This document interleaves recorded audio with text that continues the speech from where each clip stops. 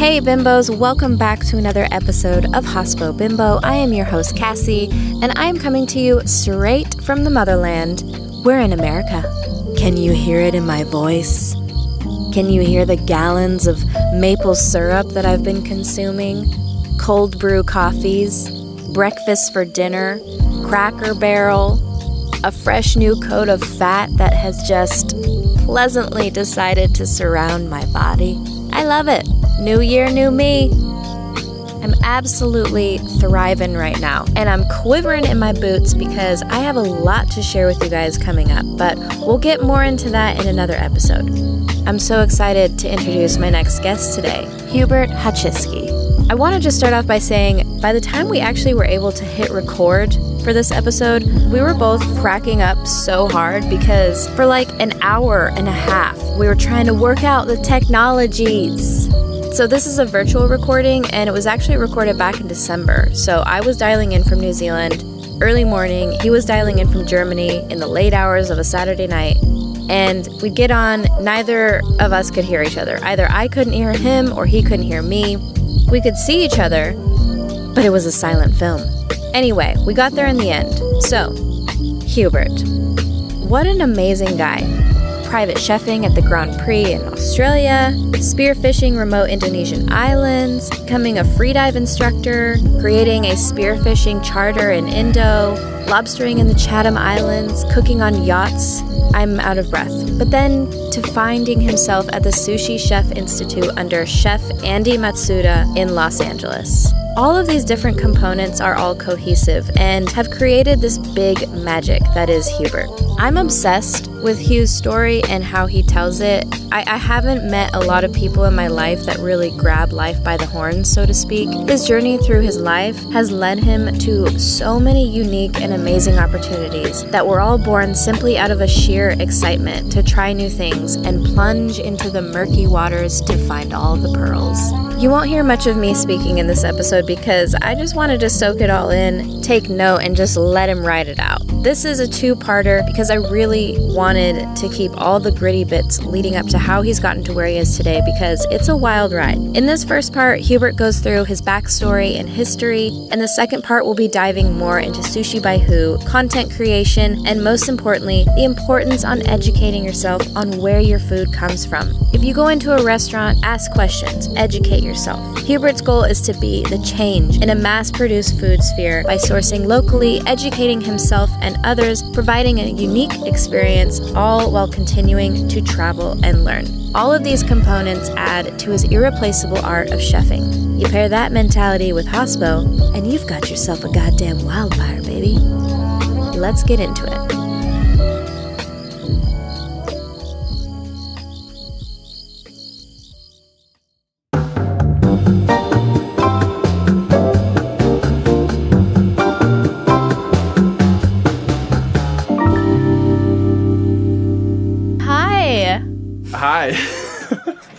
I love it. I love it because that was that was a perfect example of expensive technology meets two people who are just like trying to figure out what the what is going on. The the most important thing is the audio quality being high.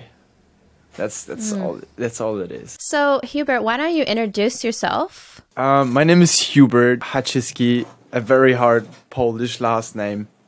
I'm born in Canada, Montreal. I was a little baby when we moved out. My parents are both Polish. Then they moved back to Poland.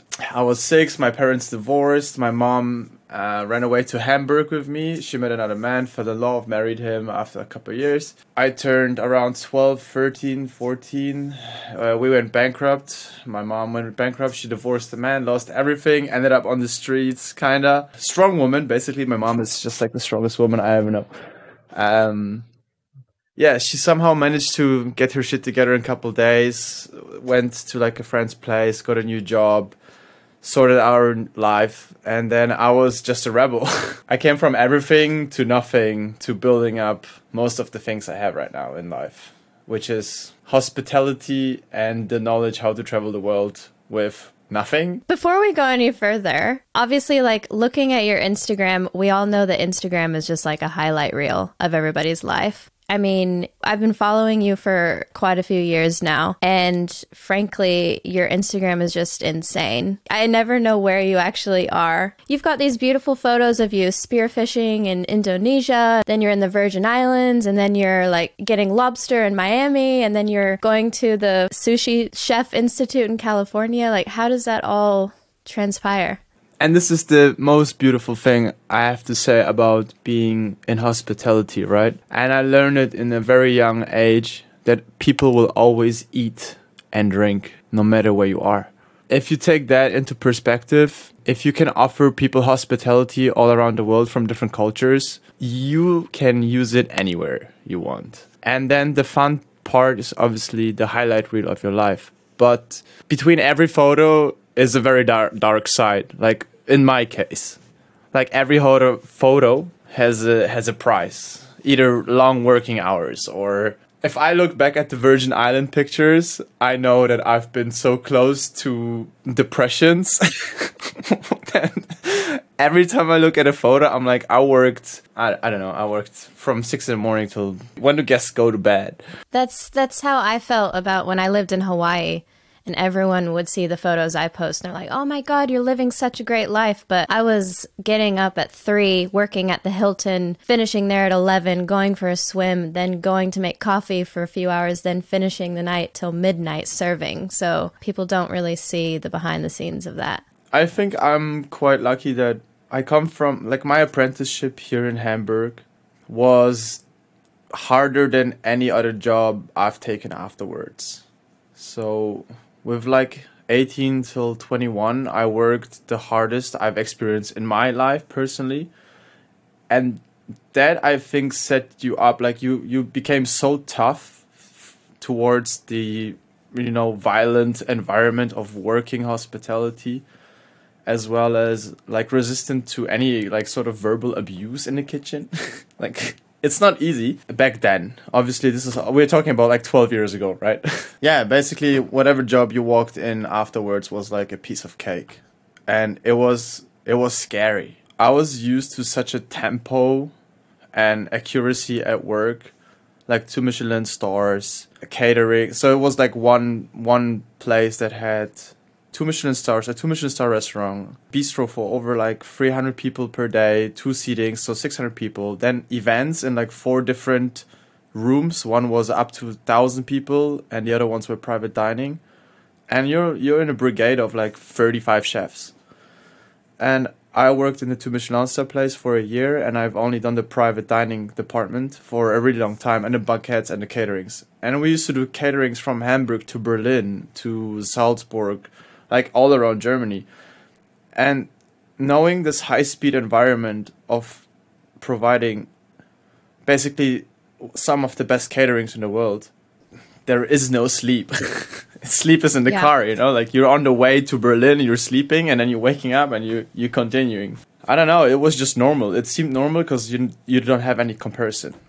So it was like, all right, this is this is how we, you know, this is how we operate. When did you actually start out being a chef?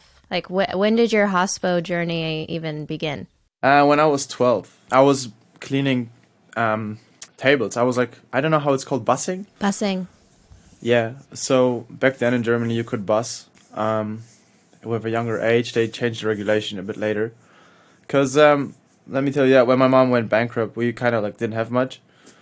Um, so there was two options: go to school, listen to some teacher, um, or either go do something else. And I was just like, hey, I don't, I'm gonna go work. Like I just wanna be able to afford things in life. So I was like, the solution was working. So 12, 13, 14, I got like my first like hospital jobs. It was like summer jobs, nothing really like fancy or anything cool, but it was still work. You know, it was like you go there you might clean like a surface or a window, but it got the attitude of, hey, you know, this is my hours are rewarded in money, and that's how it started. Yeah, I I started at fourteen, bussing yeah. tables, and then fast forward seventeen years, and we're still here. we're still still here. yeah, uh, still here. I think when you learn something in that age, you kind of like either stick to it or I don't know, it will like stick with you, and I, I just I love it. I hated it. I love. I have a love hate relationship with hospitality. it's like one of the only industries that allows you to freely travel. I mean, you could travel anywhere and get a hospo job, pretty much guaranteed work. Like you said before, everyone's eating, everyone's drinking. That's never going to go away. So there's always going to be work. That's how I've been able to travel. I don't know about you, but I don't I mean, aside from being in New Zealand, I've shocked myself with how long I've been here. But usually I go somewhere for a year and just work and then leave, so on and so forth. And it's the only job that seems to really allow that sort of lifestyle. I would agree.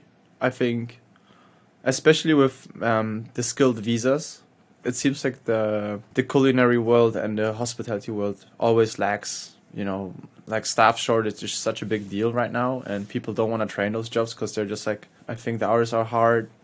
Everything about it is kind of like different from what you see other people do. I mean looking at my job now comparing it to hospitality i'm like oh god you know like i'm asking myself what am i doing here? And i'm like do i go back to hospitality? I'm like yes i should. I mean like i'm building my own brand but we can talk about this later. So I have like specific sort of like milestones to reach. Um, but mm, now I'm I'm debating like, hey, can I go just back to yachting because it's good money. I'm just so intrigued by your life because, like, how did you get into yachting? Like, how did you get into that lifestyle? What was the work like? You obviously came to New Zealand at some stage, and if I recall, I think you were in Queenstown. And where were you working then? Um, rehab juice. That's right. Yeah, yeah, yeah, yeah. Okay, yeah, yeah, yeah. so fun how job. did you? A shout out to the, just... to the guys. and the show's sponsor is Rehab Juice. Um, Hopefully, Rich, if you hear this. is it just juice or what is it? Oh no, it was food. It was healthy food for people who are massively hungover in Queenstown. Because if you know Queenstown, there is no healthy food. Mm. No, there's not. So it was the only healthy food place in Queenstown. I think we would we would really have to start before yachting. Everyone asks me the same, and then I'm like, hey, you have to understand about what's before yachting. it's, it's it's way crazier, okay. Hubert started out with a chef apprenticeship in Germany and then one year in a restaurant following, totaling four years. He got to a point though where it was all just too much, bit too much pressure. So with nothing but 500 euros, 24 hours later, Hubert set off to Melbourne. His plan was just a holiday for two weeks, but by week one, 500 euro was going out the window. His money was running dry. Anyone who has traveled knows this situation. You either get on a plane to get back home or you get a job. He reached a point where he didn't have enough money to even get a flight back home. He had a moment of clarity here on how lucky he was to have his hospo trade. Everyone in the restaurant industry was hiring in Melbourne, and he was getting offers from restaurants without even a glimpse at a CV, all wanting to hire him on the spot, with wages starting out at $35 an hour. Like which is now? insane. like yeah. $35 an hour. Fuck. Yes, straight up like not even he didn't even want to see my CV. He's like, "So you know how to cook?" I'm like, "Yes." He goes, "Can you make me something?" I'm like, "Okay." Like, what do you want? He goes, "Like, what can you do?" I'm like, "Okay, this is this is like, what do you want?" And he goes, "Like, okay, make me a burger." I was like, "Okay." From scratch, like how? And he's like taking out these frozen patties. I'm like, "Dude, like, I, I don't do that." like let me do this for you you know? And like suddenly like we're making burgers we're cooking soups we're baking our own bread. And he's like what the fuck? Where are you from? I'm like ah german chef you know? We learned this shit straight up. And he's like can you stay? And i was like okay cool.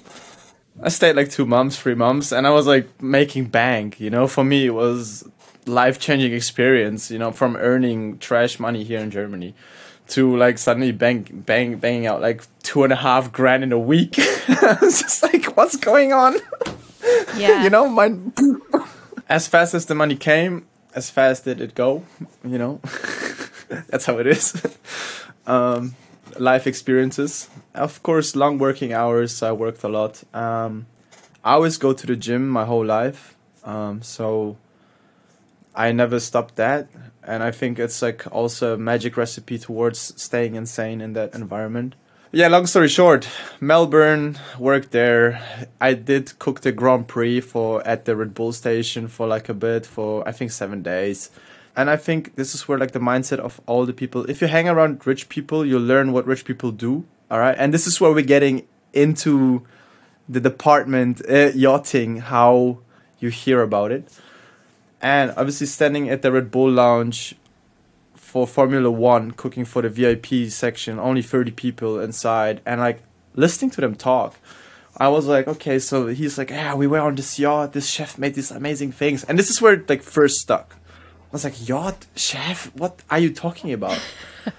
like, I'm from Hamburg and we see like the biggest yachts because they get maintained here, but no one talks about the crew being on it. Everyone talks about the structure, like, oh, it's a big boat. But there's 100 people working on it. And it never clicked. So I was like, okay, cool, whatever. There's chefs on yachts, right? How do you get into that? You have to be the best chef in the world or something like that. Like, because clearly money talks. If you can afford a private chef, he has to be badass, right? Down the line, I'm moving to Sydney. I'm working in Sydney uh, at the Opera. I won't say the name of the restaurant. Pretty much, I walk in. I saw two guys on the section and I'm like, "Hey guys, what's up? I'm coming in like, you know, same like 40 dollars an hour, whatever." I'm like, "Sweet," and then like I walk in, I work one day, the next day both dudes quit, and they're like, "You can do this yourself." I'm like, "Oh, what the fuck? 800 covers a day," and I'm like, "Listen." what do you mean they both quit? Yeah, they went over it. Okay. they walked out. French and Italian guy, they looked at me and they're like, no, bro, like, you get fucked here. And I'm like, okay, sweet. I'm just gonna take it over myself, whatever. I did like two weeks and I was just like, nah, this is this is bullshit. Like paninis and pesto, twelve dollars. Like it's trash. Like you can't no quality, it's just quantity. Not mine. Definitely not mine. Didn't like it at all. I got broke there. I had to steal a bike. I borrowed a bike. Okay. I stole it. And then I gave it back to the same address. Um, I apologize for how, that. How thoughtful of you. well, I had to get to a job somehow, and walking this, I couldn't afford a bus ticket. You know, uh, it was mm. um, definitely a lifetime experience of experiences and couple of years. like, don't do bad things. Um, they will always come back to you. That's for sure. Uh, Sydney was cool. I don't like skyscrapers, so I had to go. I uh, went to Perth. Mm, Perth was fun, but the restaurants were not so good at that time. I didn't feel comfortable working in those restaurants, so I decided not to work in restaurants because I walked in and the you know the fridges and freezers were moldy and like I looked at the chefs overworked. I was like, hey, if I want to work here, my cleaning standards are like different. Like this is I'm not gonna stand here. So I was too proud to cook in a kitchen in Perth. Way too proud. When were you in Perth? Like what year? I was living in Perth uh, in 2018. I, I was supposed to be there a year and I couldn't make it a year because I just had to get the hell out of there. I agree. You have to get out of there. Um, nothing against Perth. So like I, I know a lot of people um, really enjoy it. Oh, dude, I was there 2013. Oh, okay, a little bit, a little bit before me. Yeah, I got broke there again. So this is my third time get, getting broke, right? So I had to find a job on Gumtree shoveling dirt. I kind of like was like, oh, you know what? I just want to do something physical without using my brain. Um, okay, some guy was like, hey, you can do some landscaping for like two weeks. If you get it done quicker than two weeks, I'll pay you extra money. Like I'll pay the whole hours. And I was like, I was like, how much you gonna pay? He's like, oh yeah, three grand in two weeks. I'm like, okay, sweet. And I did it in like one. You know, I was like, okay, I just want to get the money. In the meantime, I was applying for jobs online for like resort. I found like an agency interviews you on your skill level, blah blah blah and then they recommend you to like resorts and jobs and pretty much it took and this is this is what's crazy you know? Back then my head chef said if you hold this like cv from where you where you came from you have a golden ticket. And i was like what the fuck are you talking about? Golden ticket? Like what do you want from me? It's in german in english you know? And i'm like golden ticket my ass. Whatever. Uh, this this this i was so upset like you guys have been abusing me for the last three years. I worked so much in my life and I'm never gonna make anything. Never mind. That was a really, really like back then narrow minded mindset. All right, so I'm using this golden ticket. The head chef, like, I called the agent guy. He interviewed me. 20 minutes later, the resort calls me the head chef. His name is Brad. Really awesome guy. He's a Kiwi. And Kiwi guy, dyslexic, love him but still today one of my really good friends. Super awesome dude. He's he's sailing on a boat for indonesia and writing a cookbook from like dude is like just insane you know? He's dyslexic and he's writing a book and i'm like ah, okay whatever. Uh, he calls me and i was like just a positive i just uh, the thing is i was just like a positive attitude i'm like hey bro i just want to work and i want to make money. I, I just want to work I want to make money and I, I'm not scared of working. And he's like, sweet, you're hired. You're coming tomorrow. I'm like, okay. Basically, plane ticket, I'm flying to Broome, and I'm still not having a single dollar in my pocket.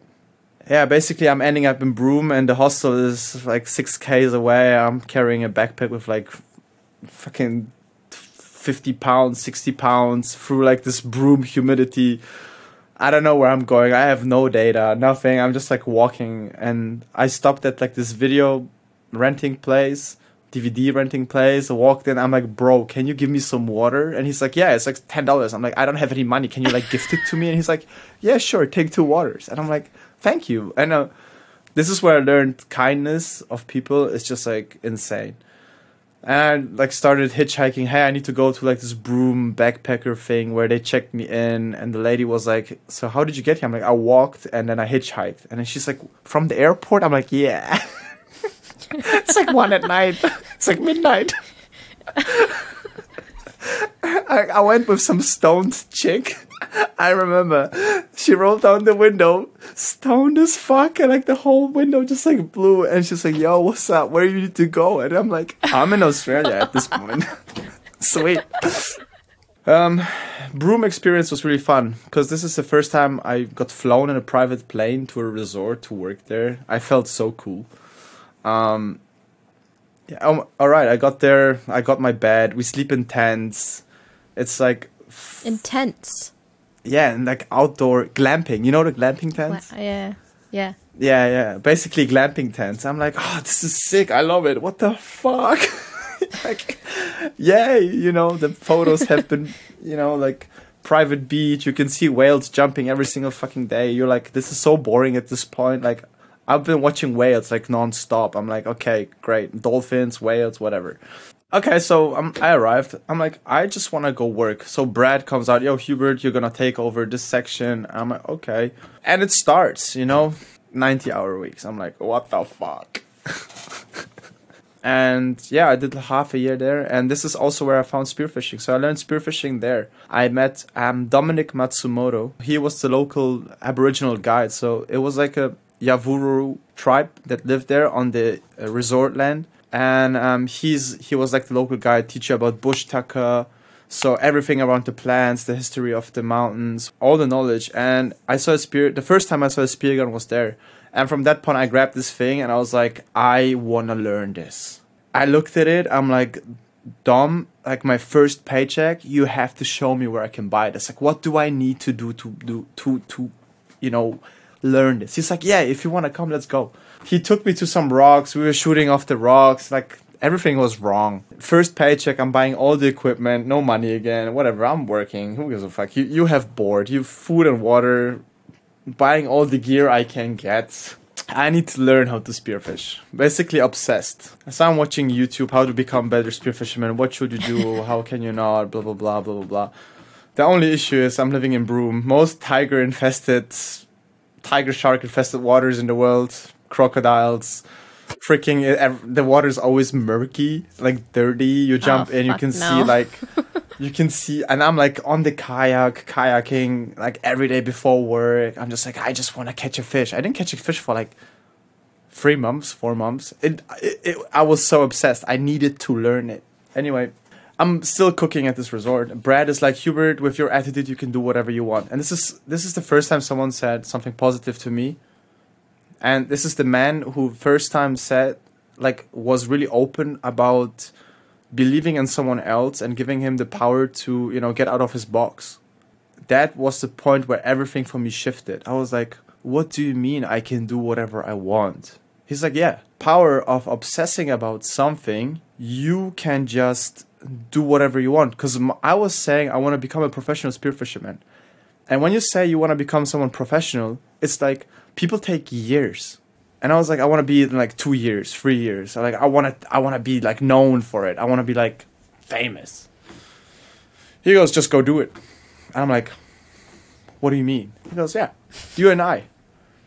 We go to Indonesia. You're gonna learn how to spearfish in Indonesia for the first time. I'm like, what?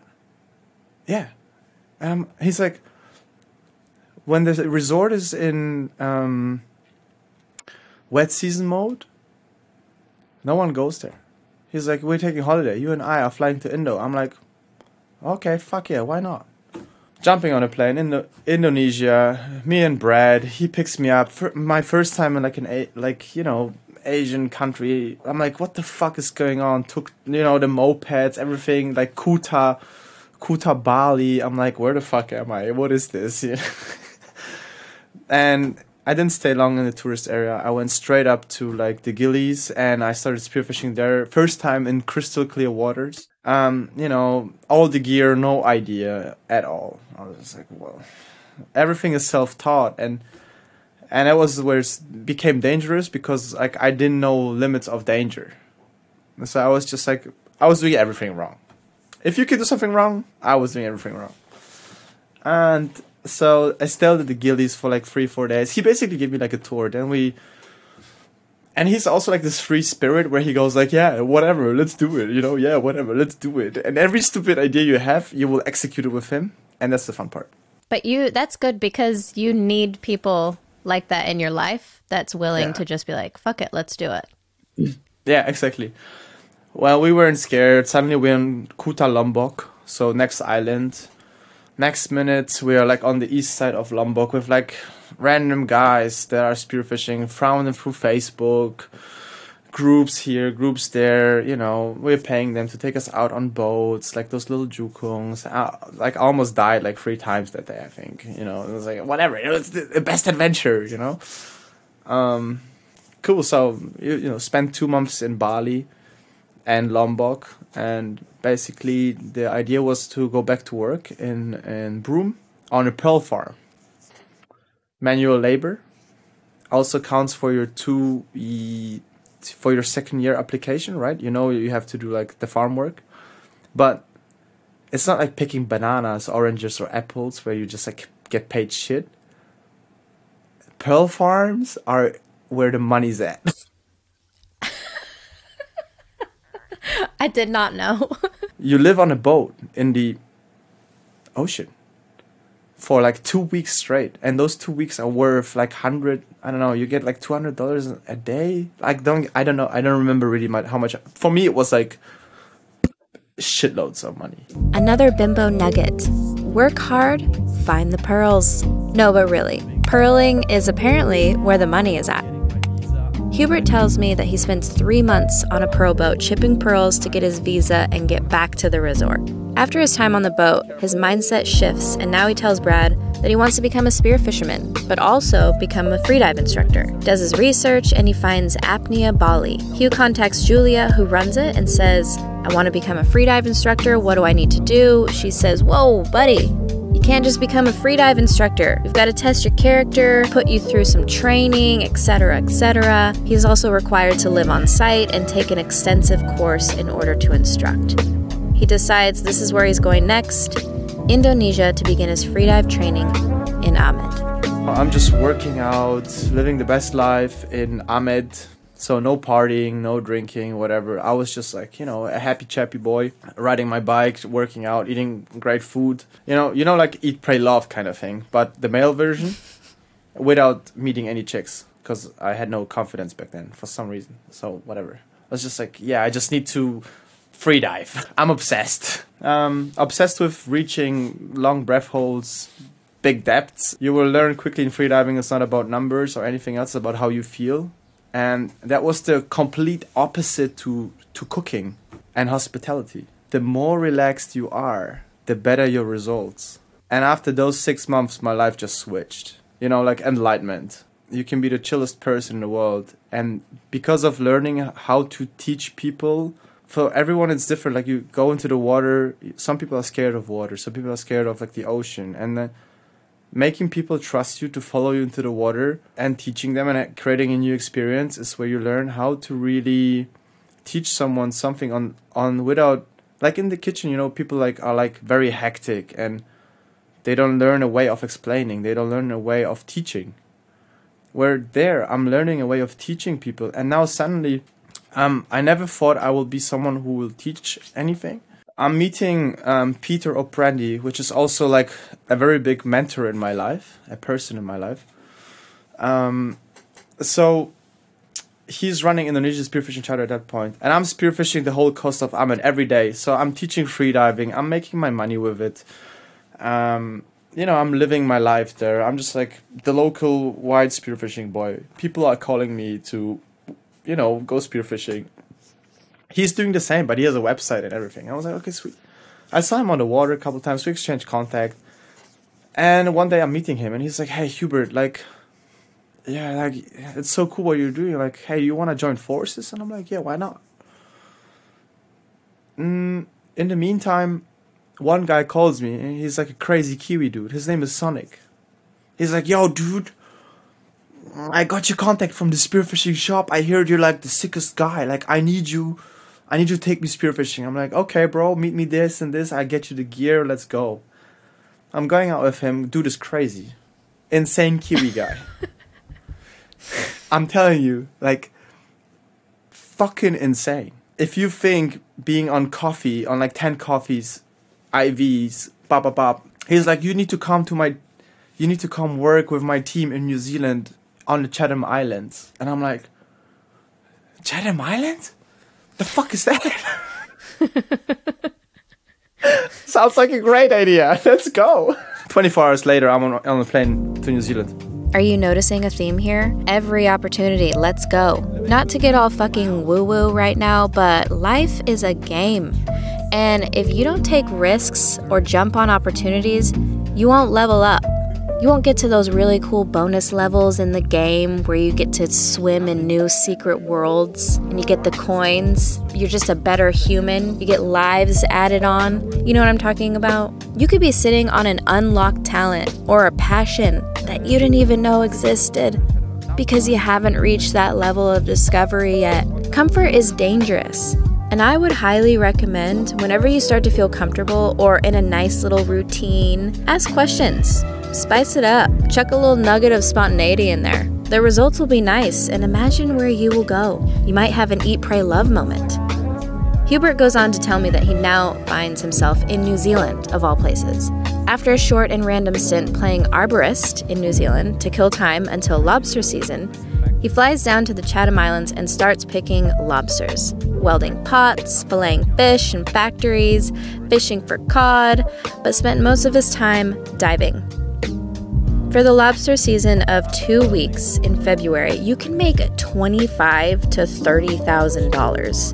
After lobster picking in Chatham, Hu moves to Queenstown and grabs a job at Rehab Juice. His one goal in Queenstown, though, was just to spend the time grinding at work, working out, sleeping, and fully resetting for five months. He does another stint of lobstering in Chatham's and does a short visit to Auckland. But we, we will get back to New Zealand again. uh, it's a love hate relationship. Anyway, that time we're going back from the Chathams, Auckland, and I'm like, fuck it, I'm going to Bali. I'm going to open this company with this guy. I'm I'm going to be part owner of Indonesia Spearfishing Charter. Flying back to Bali, opening this company, bribing all the people to be as a white boy bule in the papers. Like I own 49% of it because you can't own more. Um, basically investing like a lot of money into it um, all the gear and everything, and you know the structure, websites. In the meantime, Instagram is growing. I think I was at twenty five thousand followers at that point, um, 25, 26 or something like that. And I was like, yeah, I- am gonna become a professional spearfisherman. And then I had a first sponsor, which was Andre Spearguns. Um, I'm diving over 200 feet. My breath hold is almost seven minutes. Um, you know, my views on Instagram and YouTube are going through the roof, and I'm like living my spearfishing dream. Two years later, I was like, like this is fucking insane.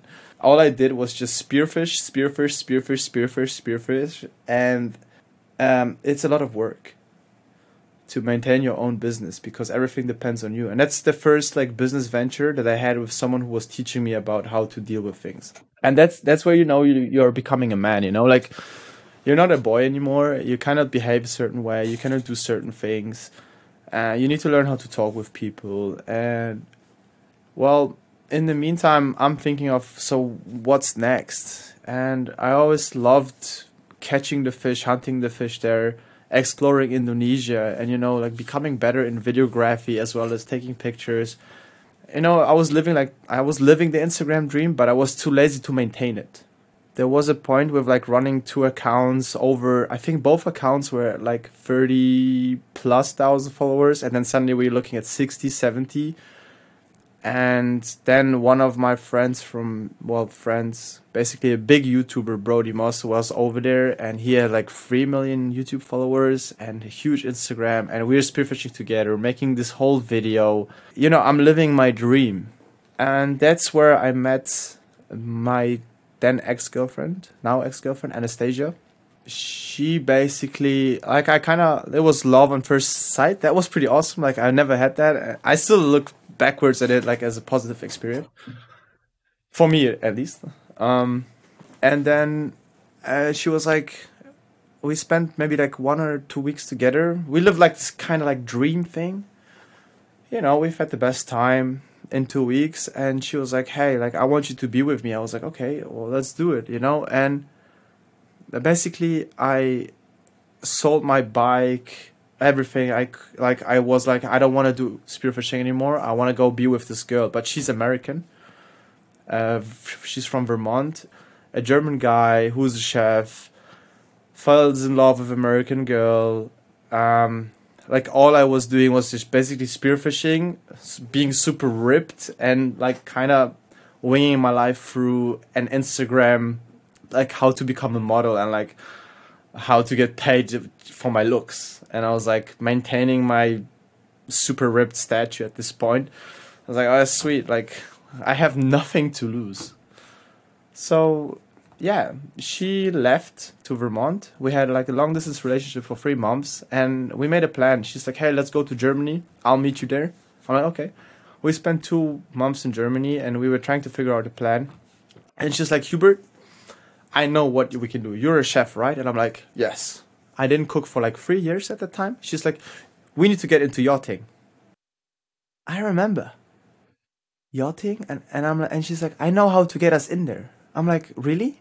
Yeah. We have to do this course here and this, and then I know a company in the British Virgin Islands that will hire you instantly. And I'm like, okay. And that's how it happened. Suddenly, I'm in Vermont, first time in the US, with her, living at her mom's place with her. We're somehow, I'm like somehow trying to maintain like money, income with like jobs. I don't know, just doing anything, you know? Enjoying really America. Like, I suddenly started like seeing other sides of America where like, I've never been there, you know? Like, for me, it's like, what the fuck? It's so weird suddenly I'm on a plane to the British Virgin Islands, getting the visa sorted, everything. Everything took like the whole procedure took like maybe four to five months waiting on those visas and uh, approvals and everything. And then I'm I'm on the Caribbean on like a, I would say for me back then was a big boat, like 58 foot catamaran. And I'm cooking for 10 people for seven days, breakfast, lunch, and dinner, just in front of them. You know, like it wasn't a big deal and so I did that for a year with her, and yeah, basically we were living we were living together and you know like making money together and like living this Instagrammable dream. And that was our goal. Like we wanted to base money on that and like continue and like how can you you know this travel lifestyle because it's 2016 like. What was your um workload like working on the yachts? Like, did you get like was it like 40 hours or 60 hours? how did you get time off and all that? It was 24 7. that put a lot of strain on the relationship as well. You can obviously imagine, especially being a chef and suddenly she's a stewardess and we have a captain. Everyone was spreading the load evenly. But um, we had something called a 24 hour turnover. So the boat drops the 10 guests off. You have 24 hours to clean every cabin, provision the boat again, and next morning, 12 o'clock, 10 guests come on again. And we did, I think our record was like 14 back to backs. That's what it's called. So 14 weeks with 24 hours to turn the boat over. And that's where like we hit our limit. And yeah, that was that was insane. And you know, you have people with dietary requirements. Hey, I want this. Hey, I want that. Can you make that? Chef, can you make this? Chef, can you make that? Chef, can you make this? Chef, can you make oh, whatever. Yeah, of course. Why not? And that's the beginning of yachting. I'm just gonna scooch in here real quick. Hope you're enjoying the episode so far. A quick reminder if you haven't already, find me on Instagram at HospOBimbo and on YouTube as I'll be uploading the full video version of this podcast on January 27th. If you're enjoying the podcast, please consider supporting the show by heading to buymeacoffee forward slash hospo bimbo. You know the spiel for the price of an orange mocha frappuccino. You can help keep the show alive. All money goes towards subscription fees, gear, and travel funds on getting here, there, and everywhere to keep supplying you the content that you deserve and the content I love. XOXO, back to the show. I, I was having a look at your website as well. We'll get to Sushi by Hu, but do you do all the photography for your, your website? Like all the content that's being produced, is that produced by you? Yeah, that's like in house right now. Everything we do. So I have I have a team now which is pretty awesome. But everything uh, is basically like self taught from how to use the equipment to. It takes me time to envision the things I want to like basically put out because I learned it with industry fishing that all the content was made at home. Um, as in, you cannot ask anyone else to film your underwater footage because it has to be you. So it was always like we have to learn how to cut videos, how to do everything the YouTube algorithm just never hit, like never hit. I wasn't consistent enough. That's a really good skill to have. To, I mean, we haven't even talked about sushi by Hu yet, but that's a really good thing to to have to pump into your business. But I can imagine that you're wearing multiple hats, so there's just literally no sleep, no time to just chill. Jumping forward, you were in LA at some stage. You were in California, and then next thing you know, you're at the fucking Sushi Chef Institute. Well, how, we how still did that come to fruition? Yeah, of course. Um, so I finished working on the yachts in the Caribbean. My relationship kind of like went different ways.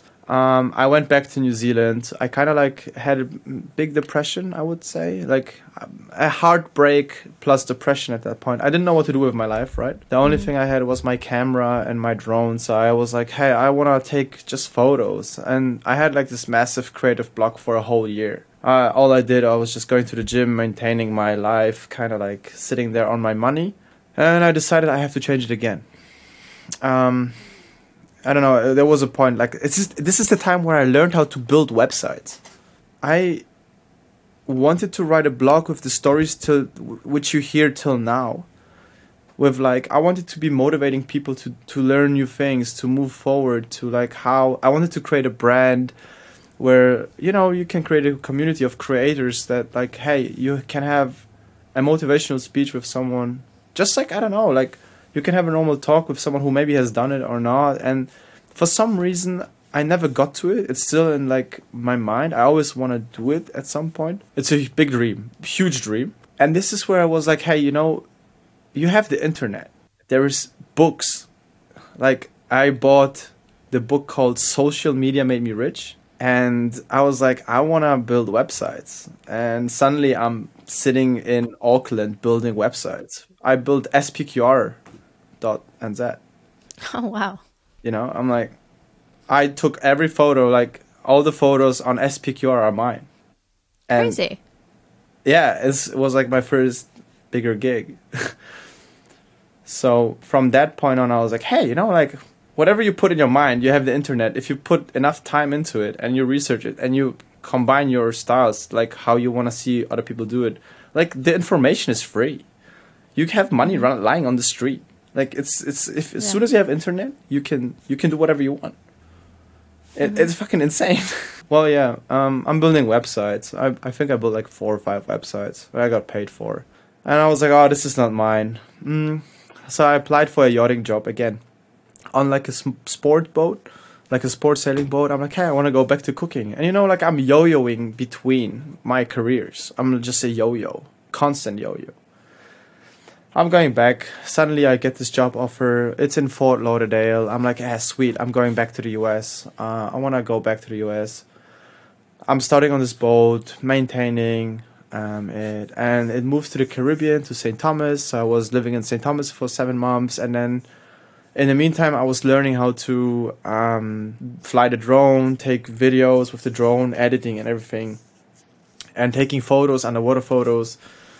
Um, but I wasn't that passionate about it because the work workload was so big from the other job that I, I couldn't maintain creativity plus workload, creativity and physical, like physically being tired. So it kind of always was just like it was bursts of creativity and then maintaining a high level and like okay break, and it, it's always fluctuating. So I'm working on this boat, loving life, saving money, and this is the first time I realized, okay, you know, this is a great career. So I like it. I enjoy it. Like this is it makes me wanna it makes me do what I wanna do. Next minute I'm back in Germany with my friend one of my best friends till today. We're still he has a bar now. You probably see it like in my feed and I share it a lot. Um back then we like we just met for a coffee and he's like, "Hey, let's build, let's create a company where we take photos for restaurants of their food." I'm like, "Okay, let's do it." 24 hours later we have a business to take photos of restaurants and we're like banging out job after job like it was stupid it was just like i'm taking photos for restaurant after restaurant and then i was like yo we're making every hobby into a job like it was just insane like the you know like for me it was like i don't know what i'm doing kind of like that's how it felt but for other people it was like hey this is this is epic that worked fun i was like this is boring i don't want to make my hobby to a job so it was like a quick cut um, because I got called by a friend that I met in the BVI. Hey Hu, can you fly into Cabo? I'm like, it's it's Wednesday, 10 p.m. He's like, when do I have to be there? Friday. I'm like, what? Yeah, we will book you a ticket for tomorrow morning. You want to come? Like, get on. I didn't know the job, who it was for, where, whatever. He's like, it's we you'll get paid well. I'm like, okay. Quick chat with the captain. I'm like, okay, I'll come. 48 hours later, I'm on a yacht in Cabo on like a 45 meter yacht. And they're like, hey, we're gonna cross from Cabo to San Diego to do maintenance. You wanna come? I'm like, okay, why not? I'm already here, right? Let's go. So we're doing the crossing, and then we I'm suddenly in San Diego, you know, helping with maintenance, cooking for the crew, blah blah blah. And then the main captain comes on, and he's like, "Hey, Hu, you have a great personality. Like, I want to introduce you to the main owner of the boat." Um, I'm like, okay, cool. So, you know, trekking up the co- coast, wasn't really meeting the owner at that time. And I'm just like, you know, going along, like working there. I had like a, not a contract, just like, hey, like, we're going to keep you as long as we need to. And then next minute, I'm on a crossing to Fiji. As you do. I know. I know.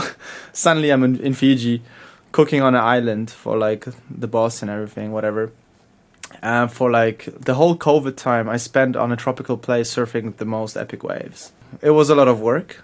It was a lot of a lot of work. I people eh, we I had to feed for like I had to feed over like 25 people every day wow. breakfast, lunch, and dinner by myself. So 24 7. And it wasn't the easiest job, I have to say. It was paid well. Um, and I did s- 15 months straight. So I worked for 15 months with no break. And then I got two months off in between, like two months after that. And then I got sick, you know, like I didn't take care of my health. I had teeth problem. So in the mean, like I had to go back to Germany and I was just like kind of like hey like I have so much pain I had so much tooth pain like I've, I've actually like had a huge operation there It, it took seven months to fix everything. And I was just like, oh my god, like this sucks.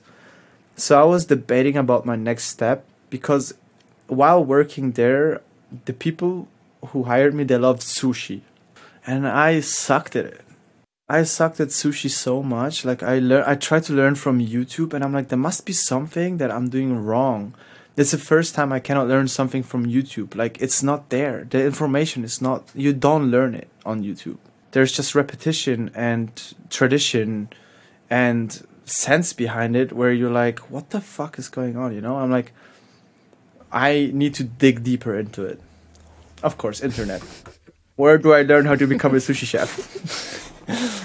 First thing you think Japan, right? But I don't speak Japanese. And not all Japanese people speak English. So it's no point for me flying to Japan. Mm-hmm. Like so I found Sushi Chef Institute. Pretty much one of the best choices I could have made. Missing a front tooth or like a plastic clip in, I was like, oh, I'm flying to LA, fuck it. Um, I canceled the operation to put in the, the whole teeth thing. I was like, and I need to get this course done you know, it's the same attitude. It's just like I need to go mm-hmm. now. I booked the course. I'm on a, I'm in a plane to LA. I'm so excited. So I'm staying at the sushi school with Andy Matsuda, and I'm like, hey, you know what? I'm going to put everything I learned as a chef into like a box, and I'm starting from scratch. Like I just want to learn what he will teach me. So I figured out that my knives were very blunt, even though I thought they're super sharp. Um, that was the first lesson. Mm. And then from that point on, it's just like, you know, learning what the cor- course will give you. So I'm becoming sushi chef. And it takes like two and a half months. In the meantime, I met a friend back in like all these stays from all these countries. You know, I had a friend called Patrick Durkin. I met him while I was in San Diego the year before. And he lives in uh, he lives in Altadena, and he is an ex uh, pro MMA, and um, he loves he he was he's so into spearfishing that we exchanged like skills. Uh, we were like exchanging skills. I was like, hey, I was like helping him to understand spearfishing better, giving him tips and tricks and everything. And he was basically like showing me and supporting me in Los Angeles in this journey towards uh, becoming a sushi chef. And this is where Sushi by Hu gets created. It starts in a friend's place where we caught all our seafood and invited his friends, for me, random people, to this apartment, and I'm just banging out sushi for like I don't know seven, eight people. They go like on their phone. They're sharing all this shit. German chef is making us sushi. He's like learning how to become a sushi chef. Blah blah blah. And he gets so many requests to do it again that suddenly I'm doing another dinner and we're charging money for it. Mm. And I'm like, whoa, what the fuck is happening? You know, like I got something. I found something mm-hmm. that I really enjoy because now I'm cooking, I'm spearfishing, and I'm doing hospitality on like a whole nother level. And it may just click. It's like this is what I want to do right now. This is what I want to be.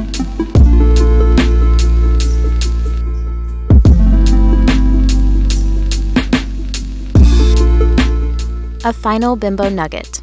All of a sudden, the pivotal aha moment. Everything is cohesive. All the nuts and bolts of your tinkering and creative dabbling becomes a machine. These things that we do, whether you want to call them hobbies, obsessions, interests, they take up a lot of time and energy, but it's fulfilling. You love it, and you love doing it. You don't know why, but you have to do it. But it's that back and forth struggle with yourself saying, okay, what is the point in all of this? Is this worth it? And at what cost? And one day, it all just clicks. You're now doing all of the things that you love in this new hybrid little beast that you have created, that no one else is doing. And that's the big magic right there. That's what you bring to the table. Be sure to tune into part two of Nomadic Hospo with Hubert next Friday, January 27th, coming out at 1 p.m. Eastern Standard Time. I want to say a big thank you to Hubert for sharing his story with me and for just inspiring the hell out of me. You've got such a great vibe about you, and the Hospo world is lucky to have you. Anyways, guys, that is chairs up for now. Thank you so much for tuning in, and I will see you in the next one.